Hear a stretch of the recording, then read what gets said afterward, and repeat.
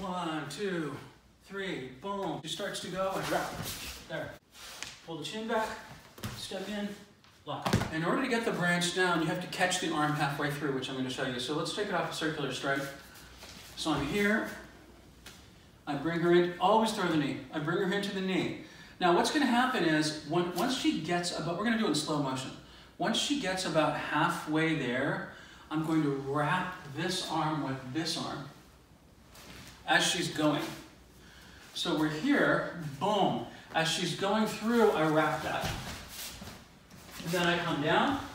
So I have this, I have this right here, elbow to elbow.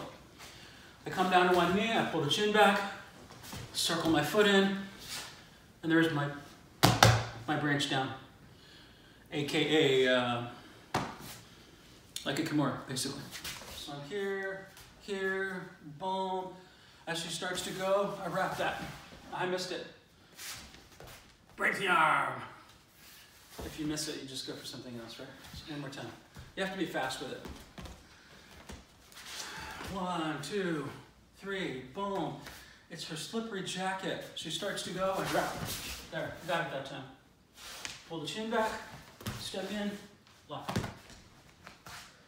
Thanks very much. Please subscribe.